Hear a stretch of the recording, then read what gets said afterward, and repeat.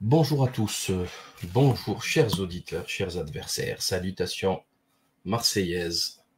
Ce 15 juin 2024, dans lequel on va parler euh, du Front Populaire, de Ciotti, de Zemmour, de Bardella, de Bolloré, Cyril Hanouna. Mais on va également parler d'économie parce qu'il y a quelques informations très intéressantes sur l'économie vous allez voir, c'est quelque chose d'assez exceptionnel, hein, avec les déclarations de Naïb Boukele, président du Salvador, mais également de Larry, Fink, BlackRock. Et surtout, surtout, surtout, on va parler de l'article explosif en six parties, qui n'est pas encore sorti, il n'y a que deux parties qui ont été publiées, sur Libération concernant les hommes de la rue du Bac, c'est-à-dire euh, une secte pédophile dirigée par les plus hautes élites euh, intellectuelles germano-pratines parmi elles des avocats illustres, des académiciens, des médecins euh, qui violent leurs propres enfants, adoptifs peut-être, mais enfants quand même, parce que l'adoption n'excuse rien. Et, euh, et, vous allez voir, c'est monstrueux, il n'y a pas d'autre terme, c'est monstrueux. D'ailleurs, je serai flic en France, je serai juge, j'aurai honte.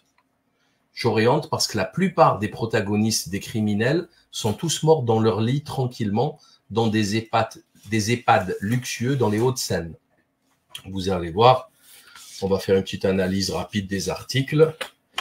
Vous savez que je dénonce la pédocriminalité depuis très très très longtemps. Je me suis même pris euh, de face des euh, les avocats des plus grands pédocriminels de France, avec Emmanuel Pierrat, etc., l'avocat de Pierre Berger, de Matzneff, de Claude Lévesque. C'est toujours la même équipe. Hein.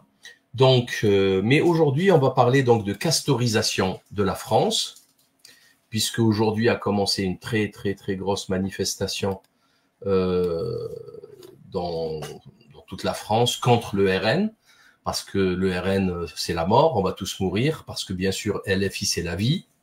Hein, c'est très très curieux. D'ailleurs, autre chose, euh, enfin, il faut, je pense que ça me paraît évident, aveuglant, criant de, je sais pas, on peut pas, on peut pas, on peut pas passer à côté. Ce n'est pas possible. C'est les limites de la démocratie. C'est-à-dire que on a là, on voit qu'il y a un parti qui a gagné et ceux d'en face, ils nient cette victoire. C'est-à-dire qu'à un moment donné, euh, c'est pas possible. Hein, c'est pas possible. Soit on, soit on est des démocrates, on accepte, soit on n'est pas des démocrates. Ou sinon, il faut interdire le parti dont il est question, dont il s'agit, notamment le RN. S'ils sont si dangereux, si ceci, si cela, ben on arrête, on les interdit. Dissolution, interdiction, décret ministériel et on n'en parle plus. On peut pas euh, les autoriser, les laisser passer à la télé nuit et jour, euh, et, et, après dire quand il gagne, faire des manifs et dire non, je suis pas d'accord. C'est pas possible, ça n'a aucun sens démocratiquement. Donc encore une fois, ça, ça me donne raison dans ma vision du concept même de la démocratie, de son application moderne, et bien entendu le merveilleux livre de Madame Simone Veil, la philosophe, pas l'avorteuse, note sur la suppression générale des partis politiques. Note sur la suppression générale des partis politiques. Euh, autre chose, il y a, y a, tellement, tellement, tellement, tellement de choses à dire que ça remet en cause absolument tout, et c'est tant mieux parce que le système est en train de mourir et qu'il arrive à sa fin en fait. Hein. Il arrive vraiment, vraiment à sa fin. Il est, on le voit, ça y est, il est usé, il est fatigué, et toutes les contradictions d'avant apparaissent maintenant au grand jour, et elles montrent clairement que ça ne va pas, que ça ne peut pas continuer ainsi. C'est juste pas possible, clairement pas possible. Euh, c'est c'est où on va comme ça, ça n'a pas de sens, ça n'a pas de sens. Les euh, c'est en, en, plus, comme je disais, enfin, il y a quelque chose d'exceptionnel dans tout ça, c'est que les deux bords. Alors maintenant, c'est très curieux. Maintenant, il n'y a plus que deux bords. Hein. Il n'y a plus que deux bords. Il y a le RN et il y a les, le Front populaire. Les autres, ils n'existent quasiment plus. C'est fou. Hein. Euh, Zemmour a, explosé en vol. Il, a disparu même les macronistes, Renaissance a, explosé, a disparu. Ils font même plus partie de l'équation. Étant donné que LR a, a déjà explosé en vol et, divisé en deux, puisque Ciotti a rejoint le RN Bardella et qu'il lui reste, euh, ce qui, ce qui reste va, va rejoindre Renaissance, mais il, il reste pas grand chose. Enfin, c'est parti en cacahuète à une vitesse. C'est vraiment, vraiment, vraiment impressionnant. C'est spectaculaire comme c'est parti en vrille en 2-2. Mais bon, ce que je voulais dire, c'est que ces deux camps, ces deux camps, euh, CAMP ou CON, C-O-N, ces deux camps, euh, PS, bien sûr, ben les deux disent, affirment aimer la France, mais à en mourir. Aimer la France à en mourir. C'est bizarre, non? Et les deux disent que le camp d'en face, c'est l'enfer, damnation, fin du monde. C'est quand même génial. En d'autres termes, il n'y a plus qu'en France que des ennemis de la France. Puisque chacun dit de l'autre qu'il c'est un danger public, mais qu'il va ruiner le pays, qu'il va nous foutre en, je sais pas moi, c'est la fin de la France. Chacun dit de l'autre ça. Et du coup, il n'y a plus que des, il y a, plus que des ennemis de la France en fait, en France, apparemment. Étant donné que Renaissance a déjà démontré sa détermination à détruire la France, et ce qu'il a fait, hein, en plus il a réussi de son coup. Le, parti de, Macron a réussi son coup. Il a, il a défoncé, il a tout détruit. D'ailleurs, regardez-moi ça. Hein. Juste un exemple. J'ai vu ça passer, j'ai halluciné. Enquête. Prostitution des mineurs, je n'ai qu'une peur, c'est comme ramène ma fille dans un sac. On compterait au moins 10 000 mineurs prostitués en France, un chiffre qui aurait doublé depuis 2016. Tiens, 2016, c'est pile poil la veille de l'arrivée de Macron au pouvoir. Euh, dans les Hauts-de-Seine, dans les Hauts-de-France, pardon, professionnels et associations s'accordent pour dire que le phénomène explose pour aider les autres. Une mère du Valenciennois dont la fille a commencé à se prostituer à 13 ans a accepté de raconter à quel point sa vie est devenue un enfer. Euh, ouais, déjà, où est le père? Déjà, c'est ça la question. Où est la famille? Où est, où est, où est, où est, où est? Et comment ça se fait que des adultes puissent euh, consommer euh, Enfin, ça n'a aucun sens, aucun sens. Dans tous les cas, dans tous les cas, pourquoi pas? Pourquoi pas? La société, s'il y a de tout dans la société, mais les élites de la société doivent combattre ces phénomènes. Comment combattre? Ben, C'est très très très simple. En combattant la pauvreté, la misère et surtout en agissant extrêmement vite, en mettant les moyens et en sévissant, en punissant avec une violence inouïe la prostitution de mineurs, notamment par la peine de mort, par exemple. Bien, voilà, tu voilà, c'est aussi simple que ça. Tu touches pas. Tu touches, c'est sacré. Il n'y a rien de plus sacré sur Terre que les enfants. Tu touches aux enfants, tu quittes la planète Terre. Tu vas dans d'autres sphères, tu te débrouilles. Voilà, tu te débrouilles. Tu te débrouilles, tu n'es pas fait pour vivre avec nous, tu dégages. Voilà. Il suffit de demander à la population si elle est d'accord, tu valides la loi, et puis c'est tout. C'est pas compliqué. Euh, franchement, la vie n'est pas très très compliquée. Et pourtant, c'est pas ce qui arrive. Et pourtant, là, le travail n'est pas fait. Bon. Alors, qu'est-ce qui, se passe actuellement? Alors, euh, je sais pas si vous avez vu cette déclaration, ce genre de d'indiscrétion rapportée par la presse officielle. Le lendemain de la dissolution à l'Assemblée nationale, Emmanuel Macron aurait déclaré à un, officiel étranger dans, dans ces réunions du G7, blabla, euh, la personne, elle lui dit alors, euh, comment tu t'en sors avec la dissolution? C'est pas trop dur et tout. Euh. Qu'est-ce qu'il lui dit Macron? Il lui aurait dit, je prépare ça depuis des semaines et je suis ravi. Je leur ai balancé ma grenade dégoupillée dans les jambes. Maintenant, on va voir comment ils s'en sortent. C'est repris quand même par le monde, hein, c'est pas rien du tout. Donc, je sais pas si vous vous rendez compte du délire. C'est-à-dire que encore une fois, la France n'a pas besoin d'ennemis. La, France n'a pas besoin de Poutine ou de l'Iran ou de la Chine ou de je ne sais quoi. La France n'a pas besoin d'ennemis. Macron à sa tête, la France n'a pas besoin d'ennemis. Voilà. En prenant cette décision dimanche dernier de, dissoudre, bah après bon, vous me direz oui, il était obligé. Euh, de toute façon, après une défaite aussi cinglante, il pouvait pas maintenir euh, l'illusion. Ben si, il l'a fait. Il l'a fait pendant des années. Sa victoire était déjà une, une escroquerie. Sa première, sa deuxième, les scandales politico-économiques, la corruption, à chaque fois, euh, il, il, il, il, aurait dû euh, dégager, quoi. Il aurait dû arrêter, il aurait dû même être emprisonné, etc., etc. Mais comme les élites parisiennes sont totalement corrompues et pleutres, couardes, lâches, euh, minables et misérables, ben, elles, refusent. Elles se disent vaut mieux Macron que le chaos, que le néant, que, que Merluchan ou je ne sais quoi. Pourquoi pas? Pourquoi pas? Mais mais non, parce que tu coules quand même. Tu coules quand même. C'est tout. Vous allez et en plus ça va aggraver la situation parce que le jour où ça va péter, les gens ils vont avoir encore plus la haine. Du coup, vous aurez euh, la haine et le déshonneur. Vous aurez tout. Voilà. Et, euh, et ça va être violent. Ça va être très, très, très, très, très, très, très, très violent. Donc, on a à la tête de l'État un gamin complètement décérébré, un, un, cynique, un pervers narcissique, un psychopathe, un sociopathe qui n'aime pas son prochain, qui fait des tests. Il teste son pays, teste les partis politiques. Il sait que tout ce... Bon, moi personnellement, je vais pas vous mentir, et je changerai jamais d'avis. Pour moi, Macron, il ne contrôle absolument rien, rien.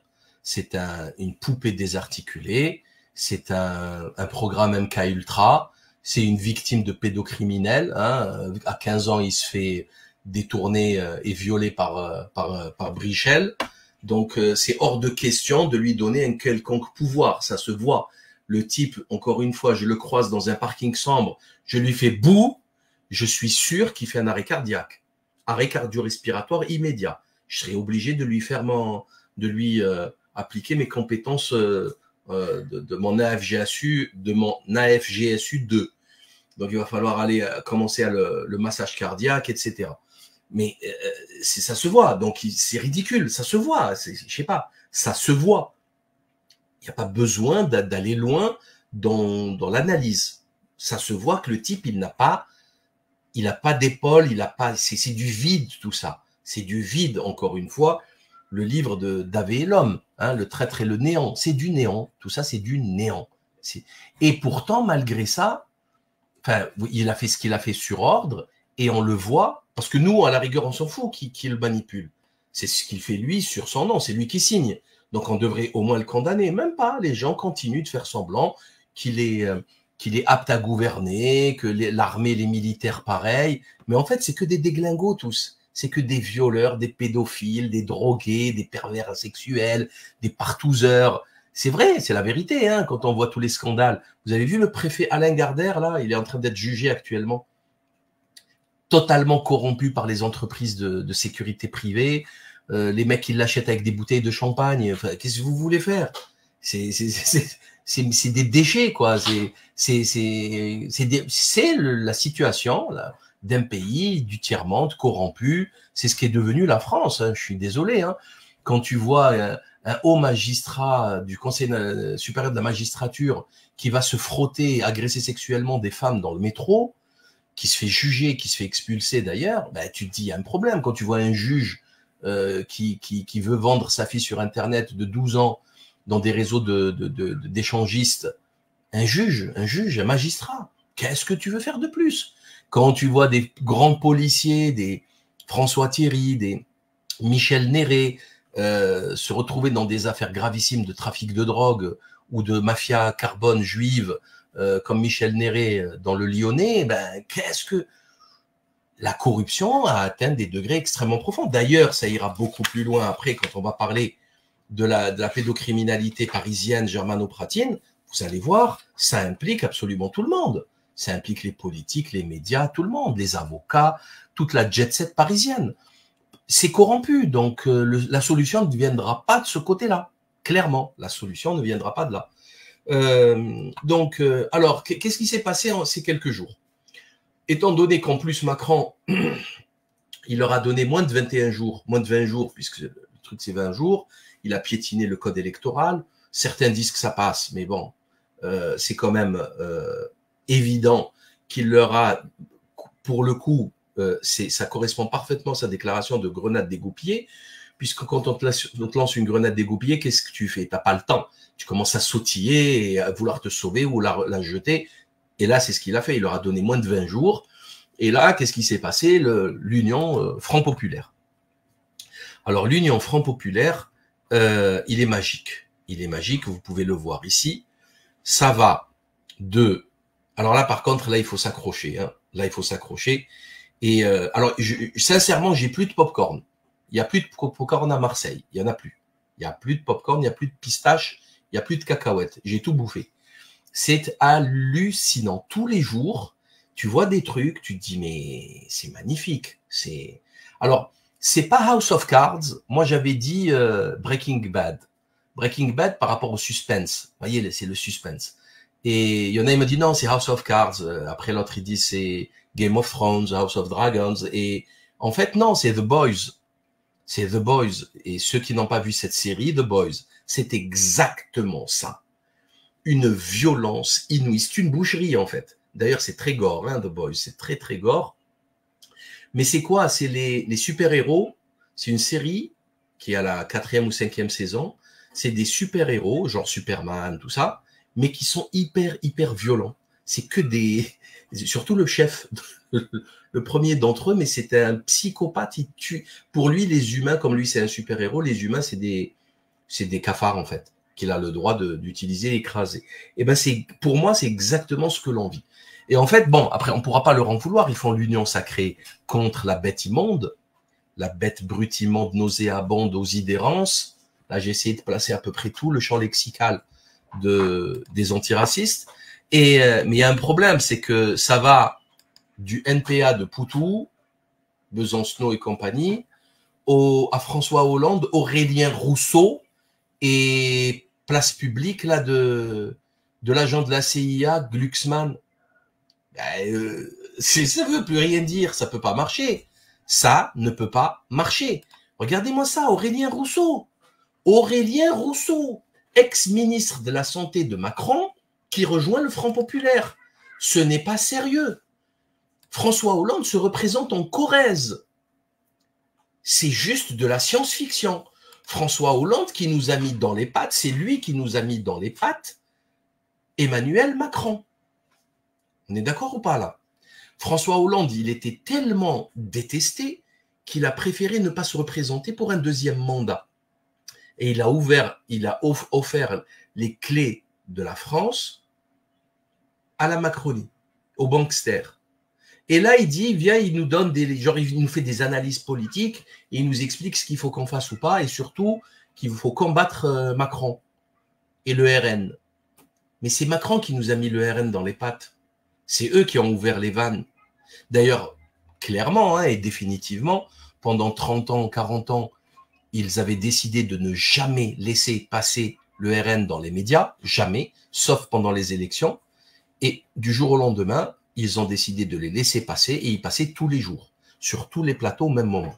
Donc c'est eux qui décident qui passe et quelles idées propager dans les médias pour manipuler le peuple et le faire voter comme ils le souhaitent eux-mêmes. Et c'est toujours comme ça que ça se passe à la veille d'une guerre. On fait monter le ressenti d'extrême droite nationaliste pour la guerre à venir. Et c'est les banksters qui font ça depuis plusieurs siècles maintenant. Voilà depuis, on va dire, deux siècles. Euh, même trois, même trois, hein, avec l'Angleterre, etc., les États-Unis, etc. Euh, alors, c'est magique, hein Non, mais franchement, c'est c'est le truc le plus hasardeux, le plus bizarre qui puisse exister. Voilà, c'est l'assemblage le plus le plus foireux du monde. D'ailleurs, on ne voit pas beaucoup de, de diversité. Hein. Il n'y a pas beaucoup de noirs, il n'y a pas beaucoup d'arabes, comme toujours. Euh, et pourtant, c'est eux qui en font la promotion, hein, alors qu'on leur a rien demandé.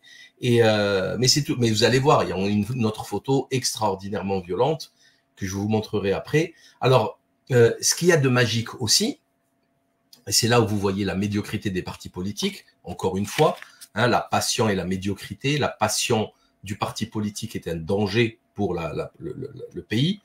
Euh, c'est pas moi qui le dis, c'est Simone Veil. Raquel Garrido, son mari, euh, Corbière et Simone et Daniel Simonet ont été exclus et n'ont pas été reconduits. Ok? Euh, Pourquoi, à votre avis?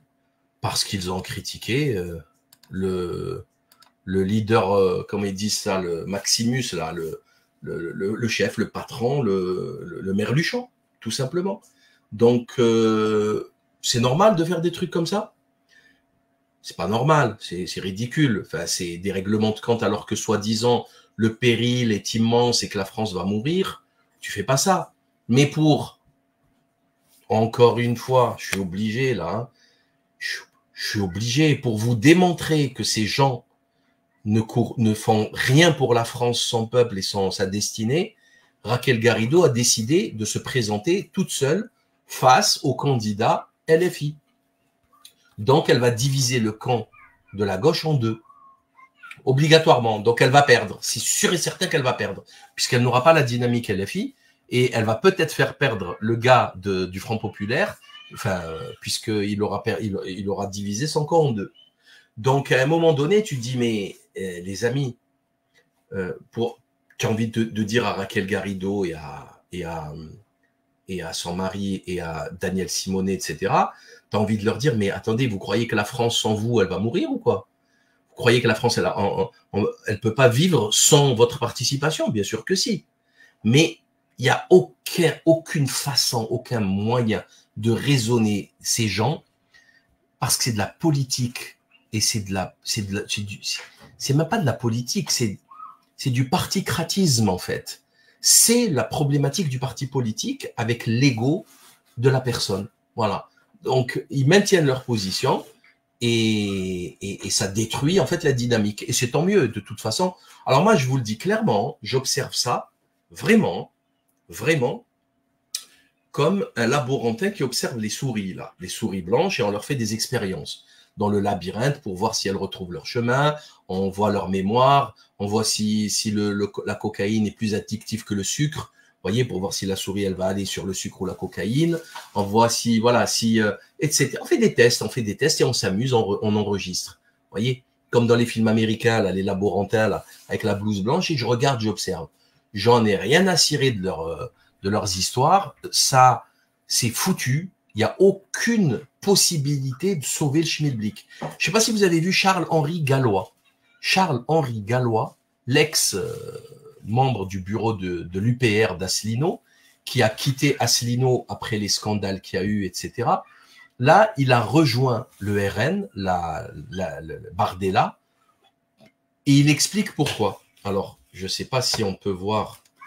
Il faut, faut que je vous montre ça parce que parce que c'est magique en fait. Parce que le type, il est quand même pas bête. Hein. On va pas se mentir. Faut pas déconner. Il est pas, il est pas bête. Ok? Alors, Attendez une seconde, j'ai pas ouvert Twitter. Voilà. Charles-Henri Gallois. Je lui ai fait un petit commentaire.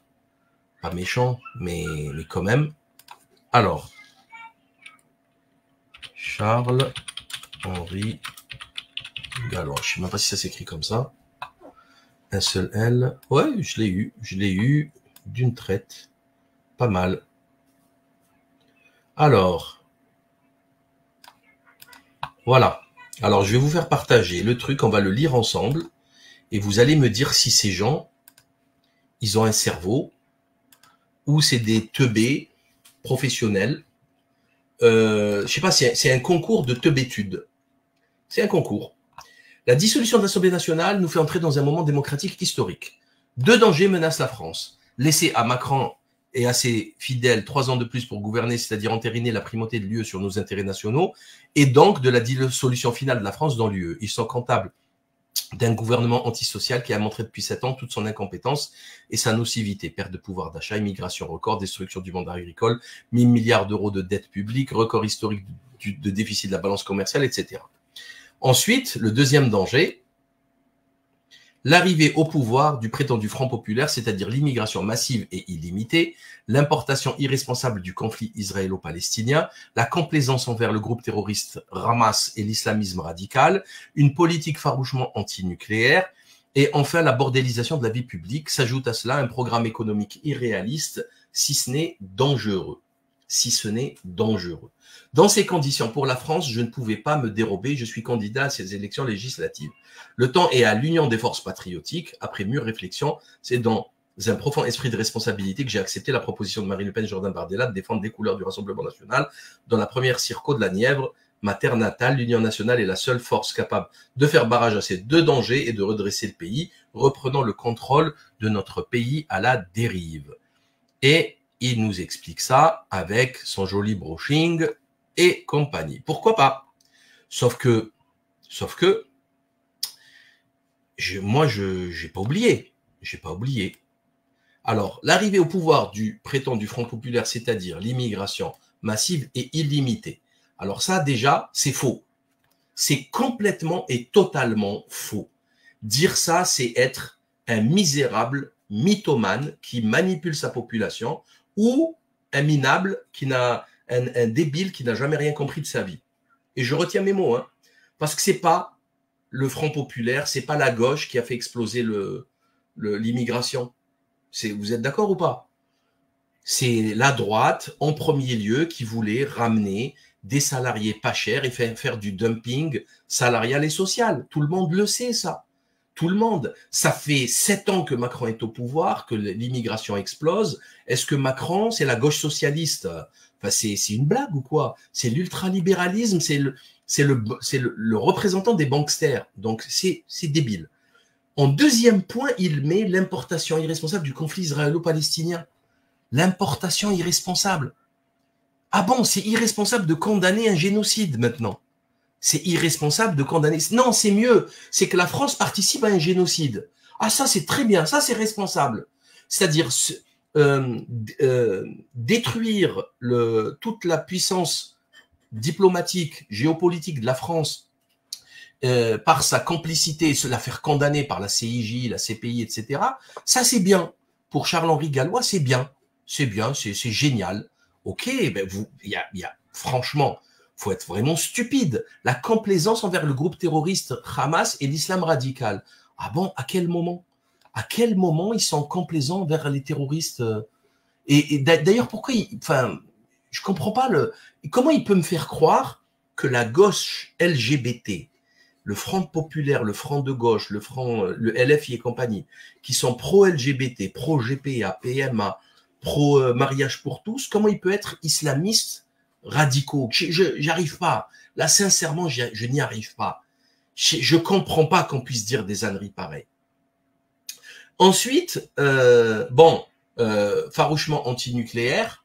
Ça, je pense que tout le monde a compris aujourd'hui que ce n'était plus possible. Il n'y a plus personne qui peut tenir cette position, puisque sinon le, pays coule, il n'y a plus d'énergie, il n'y a plus d'électricité, et surtout la bordélisation de la vie publique. Je sais pas, la bordélisation de la vie publique.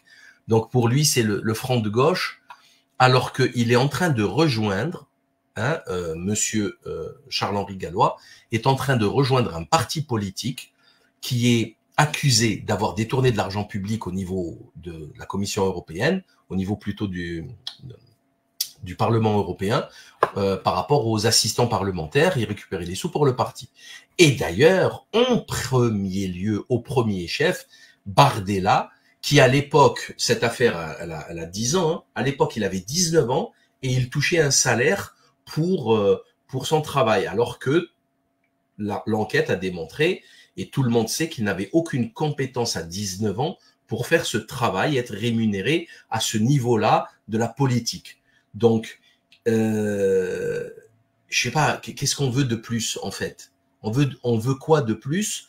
Le mec, il va rejoindre un, un, un, parti de voyous et de déglingos, un parti de de, de, de, d'escrocs au même titre que tous les autres, et il veut nous faire la morale et la leçon. C'est quand même extraordinaire. À cela s'ajoute un programme économique irréaliste. Alors là, ça, c'est le pompon, parce qu'ils veulent d'ailleurs tous nous faire croire, tous, tous, tous, tous, tous, ils font que ça depuis le début, Macron en tête et tous les autres, le programme euh, du RN et de LFI et de, du Front Populaire sont économiquement irréalistes et dangereux pour la France. Ça, moi, moi, je veux bien accepter toutes les critiques, je suis ouvert à tout, je suis un observateur. Franchement, à l'aise, tranquille, il n'y a rien qui m'engage envers personne. Il n'y a que la vérité qui me, qui me, qui m'intéresse. Le reste, je m'en fous. J'ai, aucun camp à, à défendre, j'ai pas de, j'ai aucun intérêt, aucun conflit d'intérêt. Euh, le bilan économique de Macron, il peut pas être pire. Ce n'est pas possible. OK? Ce n'est pas possible. 1000 milliards d'euros en 7 ans, euh, plus d'exportation, déficit commercial monstrueux, le chômage, la pauvreté, l'état des lieux de la justice, de l'hôpital public, de l'école publique. C'est une boucherie. On peut pas faire pire. C'est impossible. Je parle même pas de l'inflation, si j'en ai parlé, la pauvreté, etc. Regardez, j'ai parlé de la prostitution des mineurs qui a doublé, Le, je ne sais pas, tous les voyants sont au rouge, sauf le compte bancaire de Gabriel Attal, de Macron et toute la racaille qui nous gouverne. Tout, tout est au rouge. Et là, tu me dis que le RN ou le Front Populaire peut faire pire. Ce n'est pas possible de faire pire. C'est impossible. Voilà. Ça, au moins, on peut se mettre d'accord sur ça. Et en plus, qui c'est qui nous dit ça? C'est Nono Le Maire. Nono Le Maire nous explique, oui, oui, attention, c'est des dangers pour l'économie de la France. Mais à quel moment vous avez eu une, orthodoxie budgétaire? À quel moment ces gens ont... Ils ont il y, a, le Sénat qui vient d'expliquer que Nono Le Maire a trafiqué les comptes publics. Je je sais pas. C'est attendez, allez, on va on va le retrouver. C'est extraordinaire quand même pour faire passer leur plan, euh, le, comment on appelle ça euh, Alors, attendez, hein. euh, les comptes pu, publics, Sénat. Normalement, je vais trouver ça. il faut écrire correctement déjà, c'est mieux. Voilà, voilà. Alors, où est-ce qu'il est? Alors, où est-ce qu'il est? Où est-ce qu'il est? On va mettre récent. Alors, ils, avaient utilisé un terme comme quoi il avait euh, l'archer. Je vais mettre l'archer, c'est mieux, puisque je me rappelle que c'était la ganache à l'archer sur le schmilblick.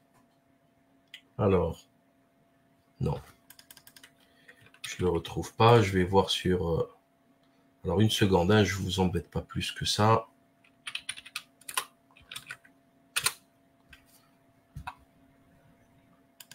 Voilà.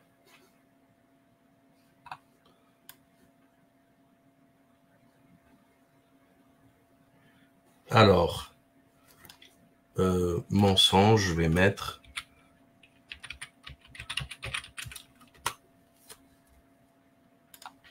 Non, je, je le retrouve, le retrouve pas.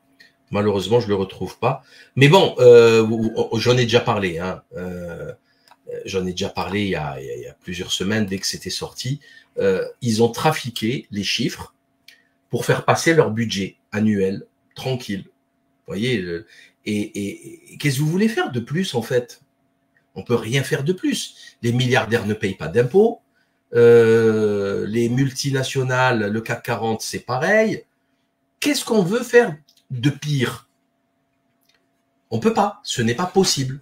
Ils se sentent acharnés sur les plus petits avec les réformes. Ils se sont acharnés, alors les contrôles, on les fait sur les gens qui touchent le RSA, au lieu de les, faire sur les, multimilliardaires qui, euh, avec une évasion fiscale de plus de 100 milliards chaque année. 100 milliards chaque année.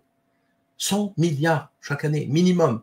Parce que euh, on ne peut pas comptabiliser quelque chose qui, est sombre. Mais on estime que, voilà. Bon, mais ça passe, ça passe tranquille et on nous fait croire que, euh, que c'est des dangers publics. Non, c'est pas des dangers publics, c'est pas ça le problème. Le problème, il n'est pas là. Le problème, c'est même pas les partis politiques pour moi. Le problème, c'est le peuple. C'est le peuple. Il suffit de voir les jeunes pour comprendre que c'est foutu.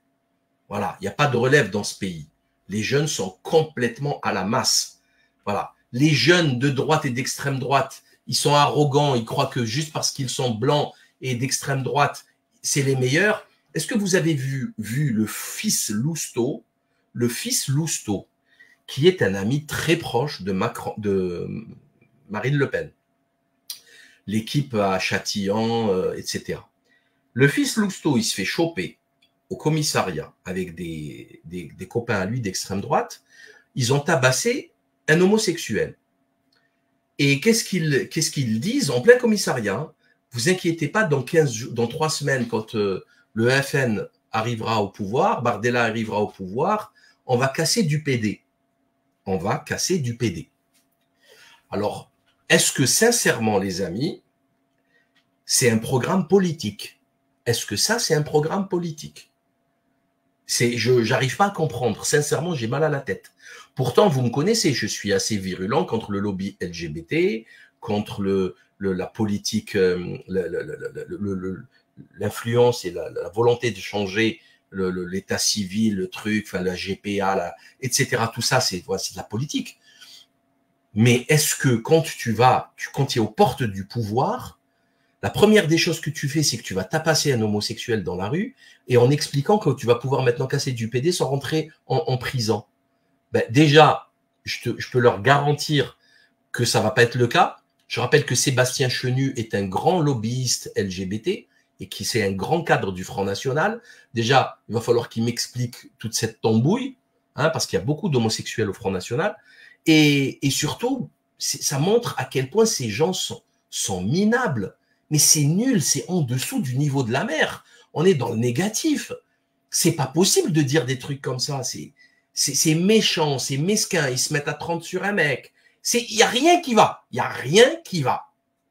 Mais c'est ça. Et l'extrême gauche, il suffit de voir. Euh, tu les vois quoi hein Bariolé en rose, violet, jaune, fluo, des piercings de partout. Tu vois que les jeunes sont fatigués. Tu le vois, ça se voit. Ça se voit quelque chose qui. Ça se voit qu'il y a il n'y a pas de rigueur, il n'y a pas de... Chacun fait ce qu'il veut de sa vie.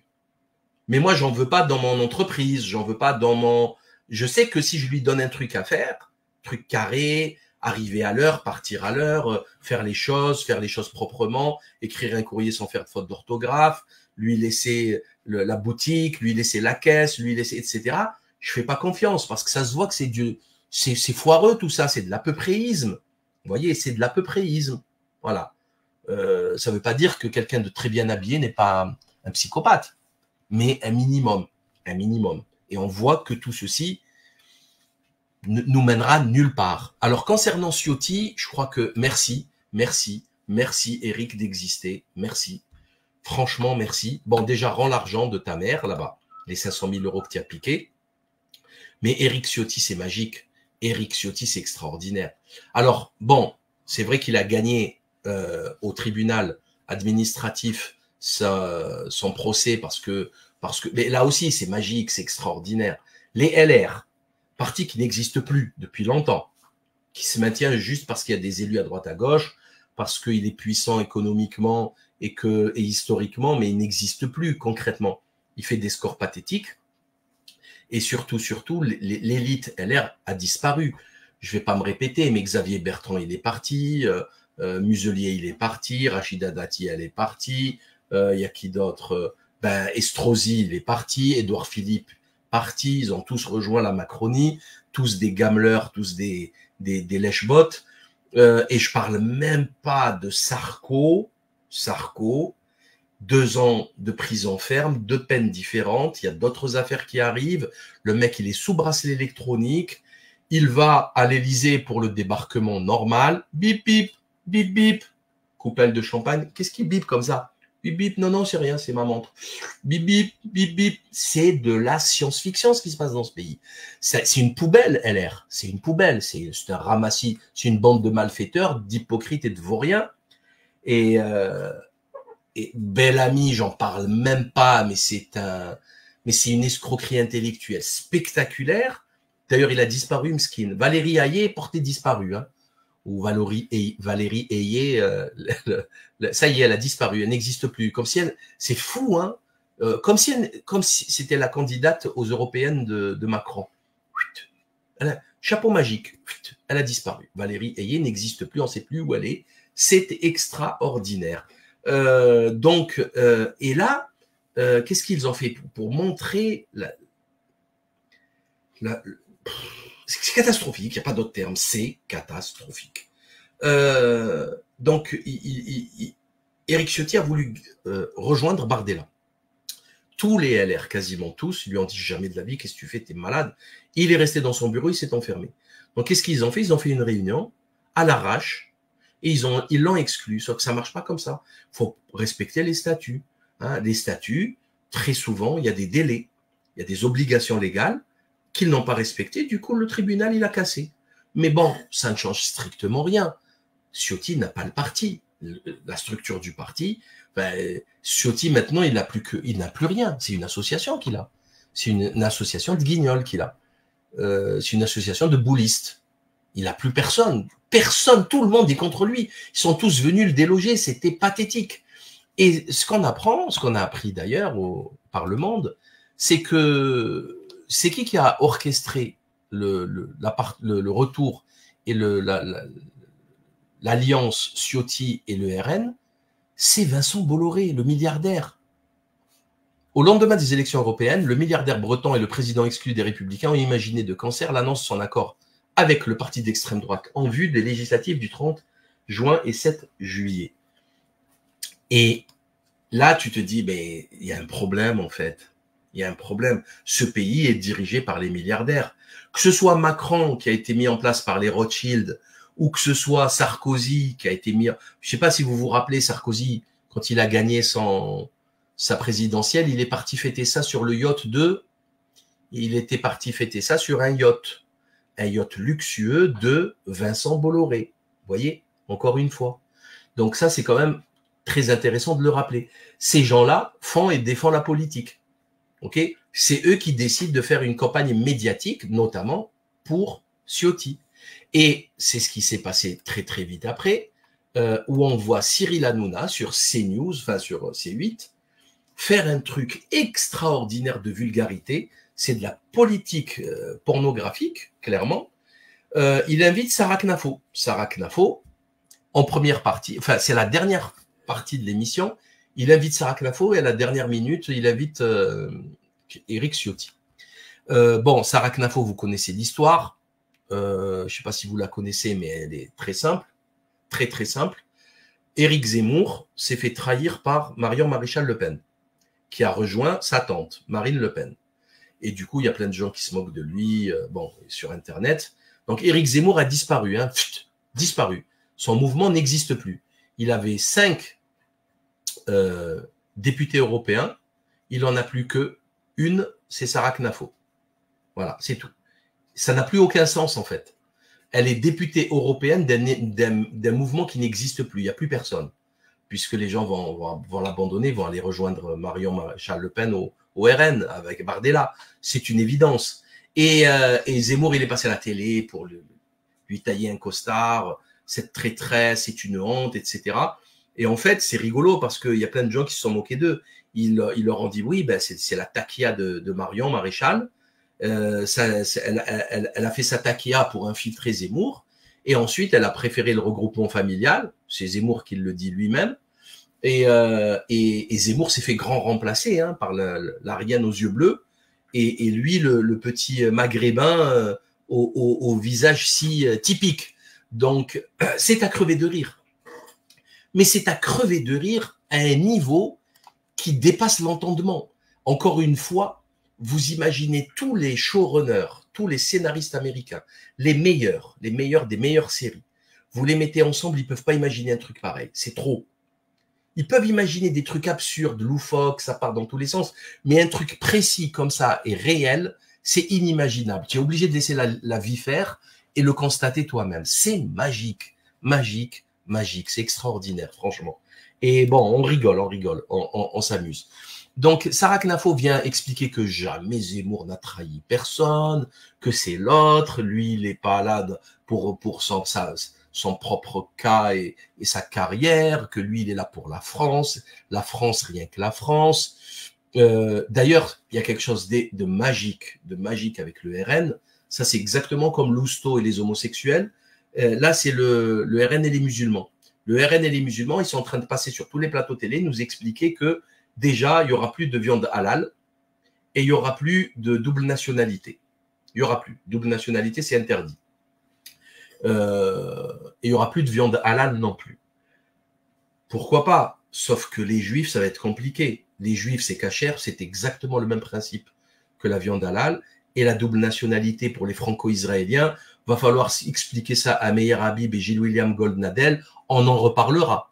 On en reparlera. On en reparlera. Ça va être comique. Mais vraiment, mais moi, j'adorerais. Mais en fait, j'attends que ça. Que l'un ou l'autre passe au pouvoir. Que le RN passe au pouvoir et ils vont vous expliquer qu'ils peuvent rien faire comme Mélanie en Italie, exactement de la même manière. Elle va faire des bisous à Van der Leyen.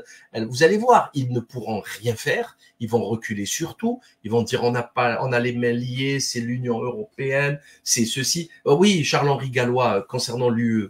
Euh, c'est Charles-Henri Gallois a milité toute sa vie, enfin toute sa vie, de longues années avec l'UPR d'Asselineau pour, pour le Frexit, pour quitter l'UE. Et là, il rejoint une un parti politique qui veut rester, dans l'Union européenne et garder la monnaie unique. Ben, je sais pas, enfin, c'est, ça colle pas. Ce n'est pas possible, c'est inacceptable. C'est inacceptable. Bon, mais pourquoi pas Pourquoi pas On continue. On continue avec vos âneries, on continue. Ensuite, qu'est-ce qu'il nous fait euh, euh, donc euh, Cyril Hanouna? Il la laisse parler, elle finit son truc, son speech. En, personne ne rappelle que c'est la campagne d'Éric Zemmour, que le polygame, ça c'est pas grave.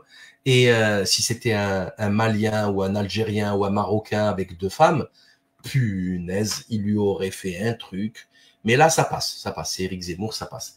Euh, et là, il lui dit, oui, non, mais il euh, faut arrêter, genre, presque, il faut se rabibocher avec le RN. Et il appelle Bardella devant tout le monde, et il lui passe Bardella qui répond pas, et du coup, euh, elle lui laisse un message audio devant tout le monde. Juste après, il y a qui Il y a Eric Ciotti. Donc, euh, encore une fois, Cyril Hanouna qui fait le SAV d'Eric Ciotti, le, bon petit caniche, le bon petit chien-chien de, de Patrick Bolloré. Non, non, non, non, non, non, non, non, non, non, non, non, non, non, limite. Il n'y a plus de limite. Il n'y a plus de limite. C'est la fin.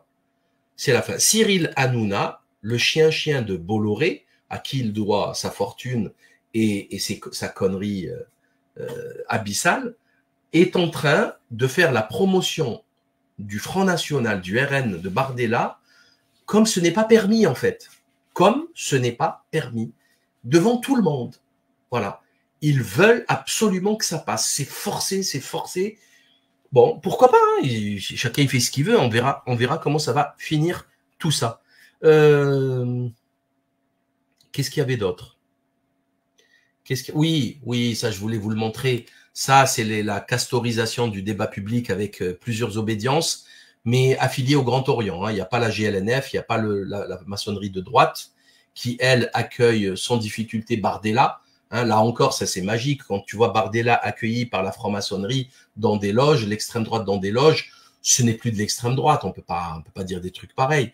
Mais bon, là vous avez la franc-maçonnerie euh, du Grand Orient qui nous explique que non, non, non, on peut pas euh, l'extrême droite, la fraternité, etc., l'humanisme. Donc, euh, alors que dans leur charte, c'est écrit noir sur blanc qu'ils ne s'occupent pas de politique. Vous allez dans n'importe quelle obédience, vous voyez la charte en haut, vous cliquez sur l'onglet, c'est écrit on fait pas de politique et pourtant ils viennent d'en faire. Alors là, je vais vous montrer cette photo magique, extraordinaire photo, magique, magique, magique, ensemble pour la République, c'est-à-dire ils nous ont fait un franc républicain, ces Gogol de la Macronie, ces Gogol qui ont tenu le pays depuis sept ans, qui ont eu un résultat catastrophique, désastreux aux européennes, c'est-à-dire qui fait deux fois plus que le, score Bardella, euh, viennent nous expliquer qu'ils vont faire franc pour proposer quoi comme projet, le même projet qui les a menés à la sortie. Je comprends moi plus rien. Sincèrement, je comprends plus rien. D'ailleurs, au passage, comme euh, Pascal Boniface l'a fait remarquer, il n'y a pas de femmes hein, en premier lieu, il n'y a que des hommes. Il y a des hétérosexuels, des homosexuels, il y a même un ancien couple. Il y a tout ce qu'il faut là, hein. il y a tout ce qu'il faut des jeunes, des vieux, il y a tout ce qu'il faut. Il y a même des vieux vieux, hein. il, on, est, à presque à, du 80 ans. Hein. C'est extraordinaire de violence. Hein. Alors, quel âge il a ce vaurien de Bayrou qui me débecte 73 ans? C'est-à-dire qu'il préfère mettre un vaurien qui représente rien au niveau politique en France, comme Bayrou, à 73 ans, qu'une femme jeune. Voilà. Et c'est eux l'honneur et le, les sauveteurs. C'est eux les, qui vont sauver la France. C'est magique. Franchement, c'est exceptionnel. Exceptionnel. On ne peut pas faire mieux. On ne peut pas faire mieux. Alors, je ne sais pas si vous l'avez vu, mais euh, ça, j'avais mis une photo et qui a disparu encore une fois. Je ne sais pas pourquoi ça me le fait, ça. Vraiment, c'est fatigant. Mais je vais vous le, le refaire en 2-2 parce que tout simplement, il est partout. Euh, on va partager ça sur l'écran. Henri Proglio, ancien patron d'EDF, c'est pas rien du tout. Il sait de quoi il parle, nous explique le plus calmement du monde dans cette vidéo que vous pouvez voir. Il n'y a aucune raison qui justifie l'augmentation des tarifs d'électricité ces dix dernières années. Nous sommes autonomes à 100% et même exportateurs nets d'électricité. Et il dit ça le plus calmement du monde. En d'autres termes, on est, bon, bon, bonjour les pigeons, on est en train de se faire voler, rincer par EDF qui a explosé les prix de l'électricité sans aucune raison valable. Alors moi, je pose la question, où va le pognon? C'est tout.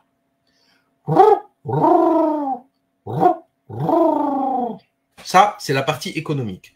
Je ne sais pas si vous avez vu cette déclaration de Larry Fink, BlackRock. BlackRock, c'est un des plus grands, si ce n'est le plus grand fonds euh, international. C'est des dizaines de milliers de milliards de dollars.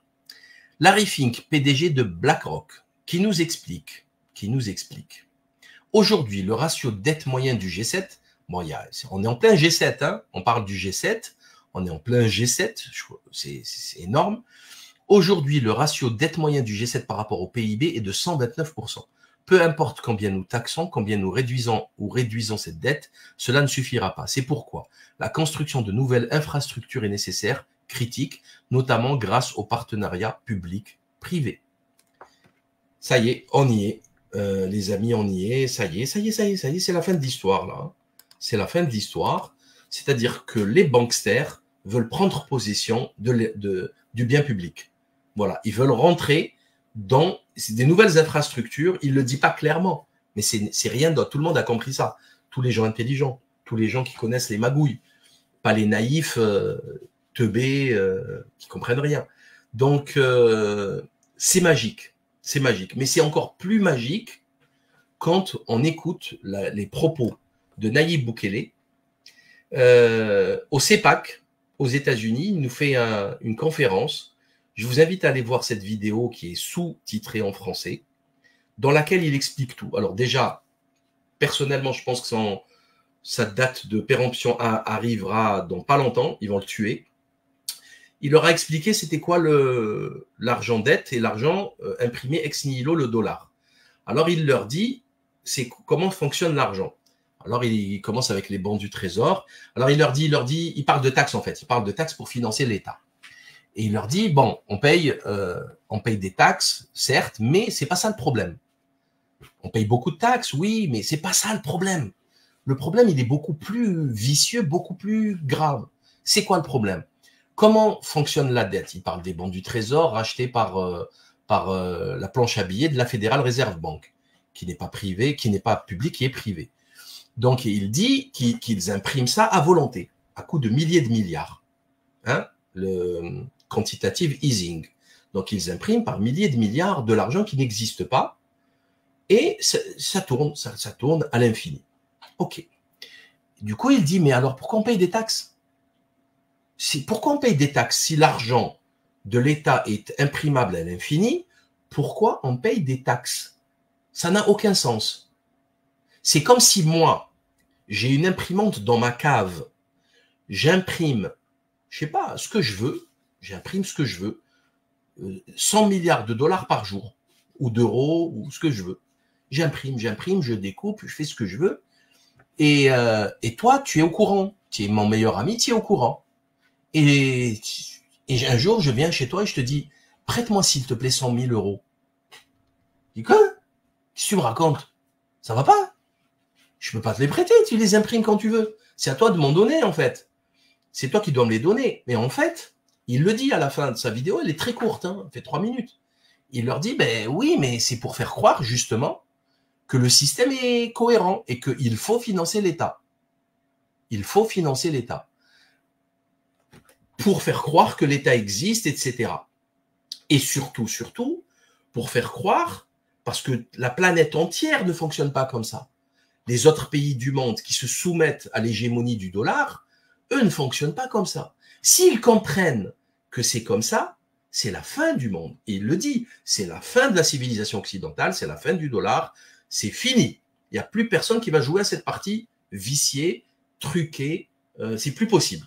Et, et ça, c'est le président qui a défoncer les cartels au Salvador. C'est le président du Salvador, petit pays certes, mais qui te raconte ça le plus calmement du monde, sur une tribune devant plein d'Américains, et il leur explique comment fonctionne cette folie furieuse de l'argent dette et de l'impression de monnaie ex nihilo par la racaille, la mafia des banksters américains, de la Federal Reserve et de Washington. Voilà.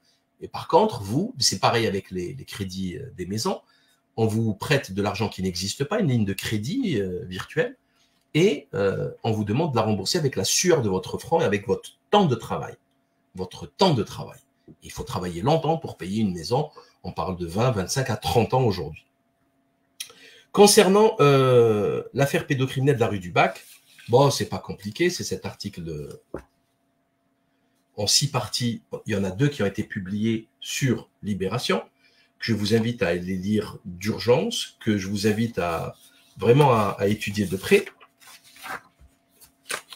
Et là, qu'est-ce qu'on apprend? C'est une gamine qui a été violée pendant une dizaine d'années quand elle était petite, de 4 à 11 ans, je crois, qui s'appelle Inès Chatin, qui s'appelle Inès Chatin, C-H-A-T-I-N, par son père adoptif, un médecin, Jean-François Lemaire. Lemaire accroché, pas comme Bruno Lemaire, Lemaire accroché, Jean-François Lemaire, et qui était un ami très proche, c'est la haute bourgeoisie parisienne, dans un très bel appartement haussmanien, au 97 rue du Bac, qui est vraiment la maison de l'horreur, puisque plein d'enfants de 4 à 13 ans, eh, plein d'enfants ont été violés là-bas par la secte, par une sorte de secte avec des toges, des capes, etc., des masques. Il les violait, il les agressait sexuellement avec des objets métalliques, ensuite il les violait. Donc, dans cette affaire sont impliqués donc le papa, bien sûr, euh, mais pas que, pas que, pas que, pas que. Bon, c'est toutes les années 80. Il y a Gabriel Matzneff dedans, il y a euh, donc Jean-François Lemaire, le médecin. Médecin, hein. attention, médecin. Il y a Claude Imbert, le fondateur du Point. Claude Imbert, le fondateur du Point. Alors là, là, les amis, c'est popcorn au caramel, au miel. Ça, c'est popcorn au miel, pistache grillé salé, noisette grillée salée, euh, morito, Là, on se met là, tous ceux que je critique depuis 18 ans, tous ceux contre qui j'étais en procès, ils sont tous là-dedans. Ils sont tous là-dedans. Bon. Euh, François Gibault. Alors, François Gibault, c'est du très lourd, 92 ans. François Gibault, c'est l'avocat de Lucette. Céline, hein, Ferdinand, Louis Ferdinand Céline. Des touches, Lucette des touches c'est lui qui s'occupe des droits patrimoniaux de Céline, Louis Ferdinand. C'est Gibault. Voilà. Pédocriminel, selon cette déclaration gravissime. Alors là, c'est une enquête de police qui est en cours et qui est très, très, très, très sérieuse. Hein. Ce ne sont pas des élucubrations, c'est pas une discussion de comptoir. Il y a énormément de preuves, de documents, parce que quand son père, alors ils sont quasiment tous morts, hein, Humbert, son père, euh, et à qui encore euh, l'académicien Jean-François Revel. Jean-François Revel, académicien. C'est le père de comment il s'appelle là le, mec qui fait le son fils qui fait le euh, il y a son nom là, j'ai dû je vais le retrouver, qui fait, qui est euh, Dalai Lama, qui est le traducteur du Dalai Lama en France. C'est son fils. Donc, euh, ils se, ils se partageaient, enfin, ils ont fait ça à des dizaines d'enfants pendant des décennies. Comme je le disais tout à l'heure, j'aurais honte d'être flic dans ce pays. Franchement, j'aurais vraiment honte parce que violer des centaines d'enfants comme ça pendant des décennies et personne ne les a vus venir, ça ne peut qu'impliquer une complicité de la police, des réseaux maçonniques, etc. C'est pas possible autrement. C'est pas possible autrement. Donc, visage masqué, porté sur eux une sorte de cape et de manteau, euh, il y avait même un banquier suisse, Worms Claude Janssen, l'architecte italien Riccardo Gaggia, etc., euh, etc. Ok? Donc euh, ensuite, quand elle a un peu grandi, Inès Chatin, elle se faisait violer par Claude Imbert et Gabriel Matzneff régulièrement. C'est ce qu'elle raconte. Et quand ils sont morts, parce qu'elle les a emmenés à, à l'EHPAD, il y avait un lit médicalisé au 97 rue du Bac, et après, elle les a emmenés à l'EHPAD. Et après, euh, elle a séparé sa mère de son père à l'EHPAD parce qu'il battait sa mère avec une énorme violence. Il tapait sa mère, il l'humiliait. Et euh, après, quand il est mort, elle, elle, se sentait un peu mieux, elle a commencé à parler. Elle a changé son nom, elle a enlevé le nom Le Maire de son nom. Et euh, d'ailleurs, au passage, quand elle s'est mariée en 1977, son père, il lui a ramené à son mariage tous ses violeurs. Tous ces violeurs sont venus à son mariage. Euh... Ouais, t'as plus, plus envie de manger de popcorn, on est d'accord, hein On est d'accord. On est d'accord. On est d'accord. Ouais, le, ouais. Satan est sur terre, quoi. On est bien d'accord. Là, c'est du pur satanisme. Il n'y a pas d'autre mot. Je rappelle que. Voyez pourquoi il faut être instruit, avoir beaucoup d'informations dans sa tête? C'est pour faire des liens, des synthèses. Je rappelle que Gabriel Matzneff avait une chronique dans Le Point de Claude Imbert, violeur avec lui, une chronique qui s'appelait Le diable dans le bénitier. Le diable dans le bénitier. Et euh, j'en ai parlé plein de fois, même si vous, vous avez oublié, vous n'êtes pas au courant. Le diable dans le bénitier. Alors, le diable.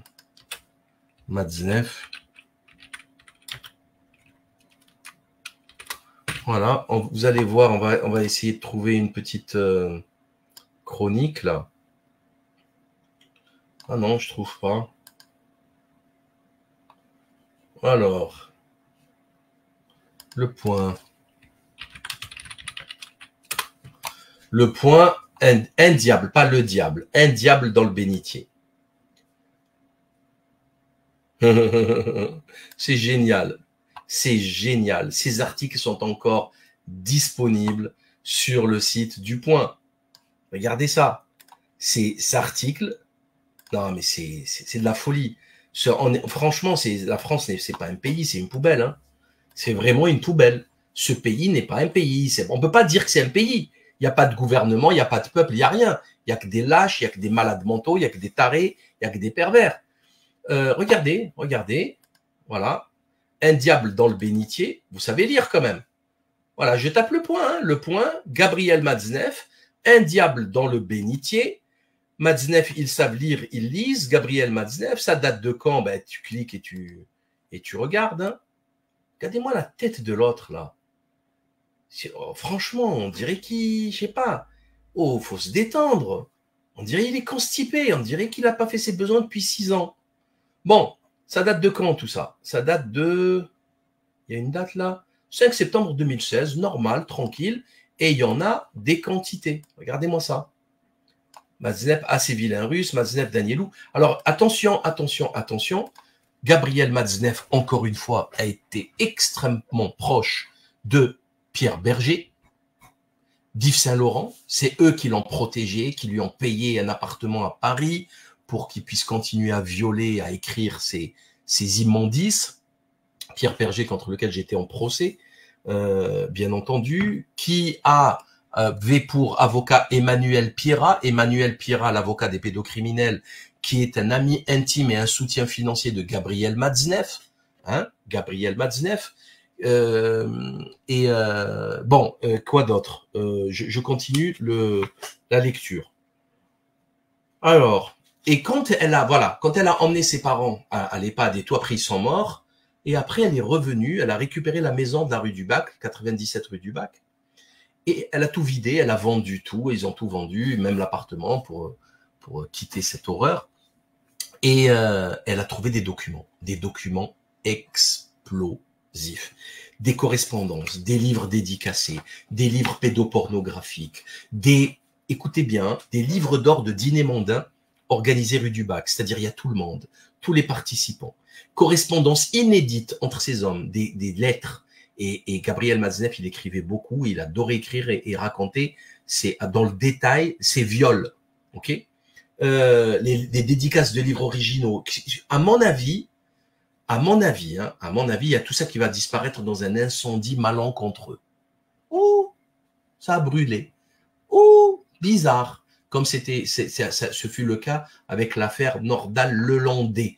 Hein. Il y a un local d'archives qui va vite brûler dans cette affaire. Faites des copies, Madame Inès Chatin, faites des copies. Donc, euh, qu'est-ce qu'on apprend encore?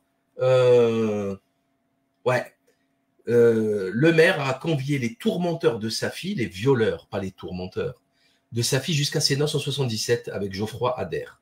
Je ne sais pas si vous vous rendez compte.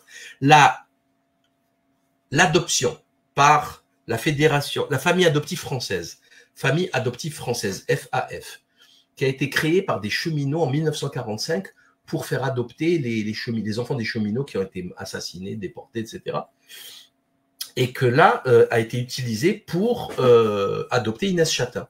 Eh ben, elle est allée voir son dossier à la FAF qui est ouvert aujourd'hui, pour justement accéder au dossier de ces adoptions pour les survivants. Et euh, les, personnes sur place lui ont dit rien ne va dans ce dossier en fait, rien ne va. Ça m'a rappelé l'adoption de Frédéric Mitterrand, autre pédocriminel, autre pédocriminel que je dénonce depuis longtemps, qui a adopté deux garçons en Tunisie en toute illégalité il les a ramenés en France en toute illégalité, double illégalité, en Tunisie, en France. Donc, ça nécessite du faux usage de faux en écriture publique, donc double crime. Et il leur a donné son, son nom, son patronyme en France, totalement illégal. C'est totalement illégal. Donc, j'en ai déjà parlé. Il y a une vidéo entière qui parle que de ça, je le rappelle. Donc, euh, en tant qu'homme seul, homosexuel, non musulman, euh, euh, âgé, il pouvait pas adopter, c'est pas possible, ça n'a aucun sens. Il a réussi à ramener quand même deux gosses de Tunisie et il les a ramenés en France et il les a légalisés, il a légalisé leur euh, état civil, leur situation, ce qui nécessite une complicité au niveau de l'état civil folle, folle, folle. Bon. Ensuite, ouais, c'est Mathieu Ricard, c'est Mathieu Ricard, le fils de Jean-François Revel, l'académicien. Donc, euh, alors, qu'est-ce qu'il trouve? Dans les rayonnages les plus hauts des bibliothèques, des ouvrages ouvertement pédocriminels.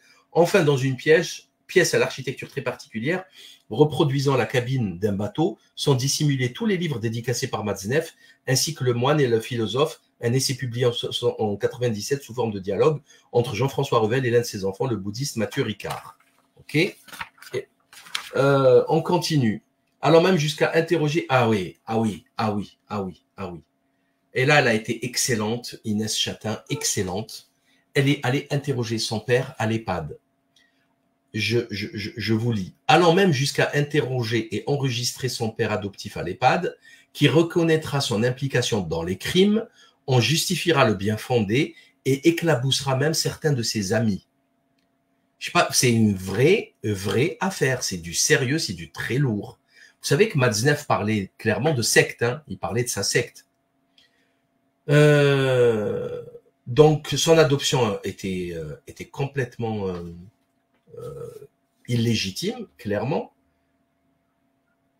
Gibault, l'avocat Gibault, le, était un, ami intime et le conseiller personnel de son père adoptif. OK? Donc, au moins, les choses sont claires. Les proximités aussi. Alors, eux, ils ont nié, bien entendu. Ils ont dit non, moi, si j'avais vu un truc pas bien, oulala, oulala, j'aurais dénoncé la police direct. J'aurais, alors que dans, dans les dossiers, bon, il doit y avoir euh, beaucoup, beaucoup de choses euh, accablantes. Donc, et en, fait, on parle là, on parle là d'un trafic d'enfants orchestré par son réseau amical et politique. On ne parle pas d'une histoire de, de viol d'une gamine pendant des années par son père adoptif. Pas du tout, ça n'a rien à voir avec ça on parle de quantité astronomique d'enfants, c'est un trafic d'enfants. Et voilà à quoi sert une secte en fait. À quoi ça sert la fraternité, la secte? À plusieurs choses. Premièrement, à se sentir en sécurité. OK? Être protégé. Faciliter le passage à l'acte. Je suis pas seul. Et je suis protégé par qui? Ben, Par la clique. Hein Il y a Francesca Guy sur Internet, sur Twitter, qui, reprend tous ces articles et rajoute des détails, notamment Grasset. Bernard-Henri Lévy, euh, ben, Benjamin, je crois, Nora, Benjamin, Simon, je sais plus, Nora, qui était un des gros patrons de, Grasset, éditeur de Matzneff, Donc, ami intime, Matzneff, enfin, ami intime, ami très proche de Bernard-Henri Lévy. Donc, euh, il faut rajouter tout ce beau monde hein, dans, la soupe, hein, parce que là, faut pas nous prendre pour des, pour des, des lapros, quoi. faut pas nous prendre pour des, débiles mentaux, quand même. faut, faut, faut, faut, faut, arrêter, quoi. À un moment donné, faut arrêter de nous prendre pour des débiles. Donc, euh, et, et, aussi, et aussi, fournir en chair fraîche. Il sert à ça le réseau. Parce que tu es pédocriminel, il te faut de la chair fraîche, tu fais comment? D'où tu la sors, la chair fraîche? C'est dangereux. Tu vas kidnapper un enfant, les parents vont le chercher. S'ils le trouvent chez toi, tu, tu, vas aller en tôle. Donc, comment faire? Ils ont trouvé leur petit réseau, hein, très haut placé. Donc, je vous laisse imaginer chacun son petit réseau, chacun ramène son réseau. Hein, euh, le maire ramène son réseau, Gibault ramène son réseau, Imbert, les médias ramènent son réseau, Matzneff, Pierre Berger, etc. ramènent son réseau. Et là, on peut acter ça aujourd'hui, le 15 juin 2024, très efficace. Ils sont morts dans leur lit. Voilà. Ils sont morts dans leur lit. On attend juste que la racaille, la racaille dégénérée, ce démon sur pattes de Gabriel Matzneff crève dans d'affreuses souffrances. Amen. Et je vous jure que je ferai une belle fête le jour où Gabriel Matzneff crèvera comme un chien. Et j'espère qu'il crèvera dans d'affreuses souffrances. Amen. Inch'Allah. Gabriel, priez pour moi, avec moi, pour faire accélérer. Euh, bon, j'espère qu'il sera d'abord euh, questionné dans, cette nouvelle affaire, si, ça n'a pas encore été le cas. Mais j'espère qu'il va morfler sur terre et en enfer. Voilà. Parce que c'est pas possible. Le mal qu'ont fait ces gens, c'est inouï. Pendant 50 ans, 60 ans de viol. Et pas un flic, ça rappelle d'ailleurs l'affaire Jimmy Savile en Angleterre, qui implique la franc-maçonnerie, les réseaux et même la reine, hein, puisqu'il a été décoré sœur Jimmy Savile, hein, euh, alors qu'il a violé des centaines et des centaines d'enfants toute sa vie. Toute sa vie.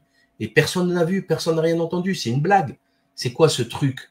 Tu, tu, tu, vas dans n'importe quelle société où il n'y a pas de gouvernement, il n'y a pas de police, il n'y a pas de justice, personne ne peut faire ça. Personne. Tout le monde serait au courant, le mec il serait décapité dans, dans, l'heure.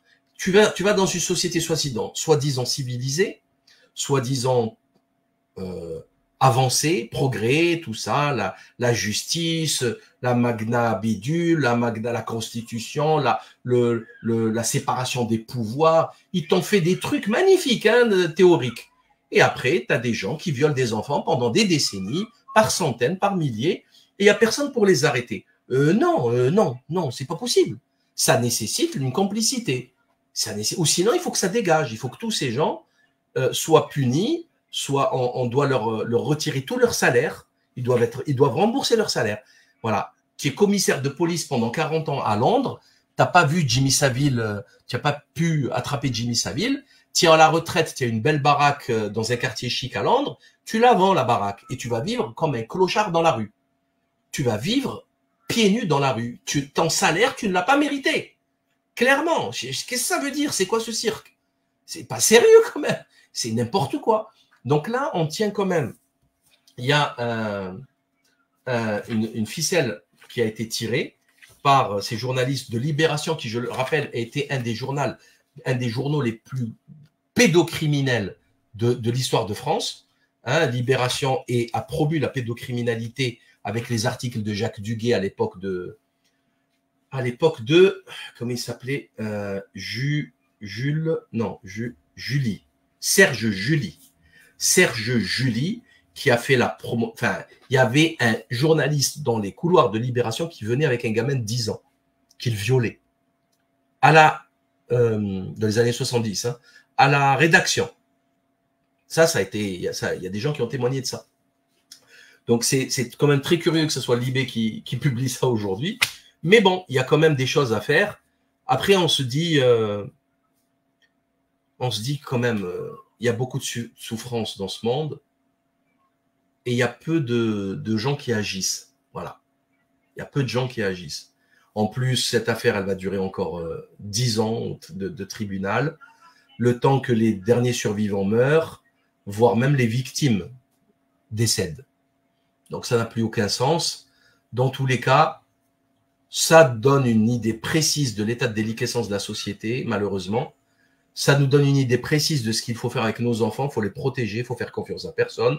Certainement pas à l'État et aux compagnies. C'est eux l'ennemi, c'est eux le problème, vrai, véritablement.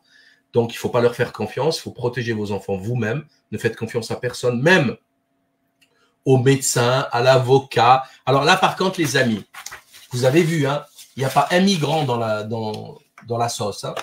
Il n'y a pas un migrant, un noir, un maghrébin, un, un basané. Il n'y a pas. Hein. C'est que du blanc aux yeux bleus, là. Hein. Vous avez vu, hein du Humbert, du Lemaire, du Gibault, du, euh, du Matzneff, c'est que des blancs. C'est que des blancs, euh, des criminels multirécidivistes avec une nécessité de corruption spectaculaire d'un réseau tentaculaire pour les protéger pendant des décennies. Ça va jusqu'à, on le sait, Matzneff était protégé par Mitterrand, le père, hein, le, président, avec son courrier qu'il se trimballait dans sa poche en cas de problème. Il, montrait qu'il était adoubé par Mitterrand. Et on a vu toute la suite. Bon, ben maintenant vous savez ce qu'il y a à faire. J'en ai terminé aujourd'hui avec cette vidéo. Merci infiniment de l'avoir suivi. Partagez, partagez, partagez, likez, commentez. Oula, je viens de me rendre compte que j'ai oublié les politesses. Je viens de me rendre compte. Merci infiniment aux tipeurs, à DSLR qui nous soutiennent dans notre lutte quotidienne. Euh, vous pouvez trouver nos, travaux dans toutes ces plateformes vidéo. Salutations à l'équipe Telegram, salutations bien sûr à tout le monde et euh, à très bientôt. Partagez, partagez. Et surtout, vous savez, hein, il n'y a pas de notification, shadow banning oblige. Partagez s'il vous plaît le, lien dans, vos réseaux pour faire vivre ces vidéos, que les gens se rendent compte de ce qui se passe dans ce pays. Ciao. Ah oui, j'ai oublié un truc hyper important. Excellente fête de l'Aïd aux musulmans, c'est demain. Excellente fête de, l'Aïd el-Kébir, la grande fête de l'Aïd, c'est la fête la plus importante. Et euh, courage aux, aux Gazaouis, aux Palestiniens qui se font massacrer encore et encore avec la complicité du monde entier. Et bien sûr, les gens normaux boycottent l'entité sioniste. Je crois que c'est une évidence. Ciao tout le monde.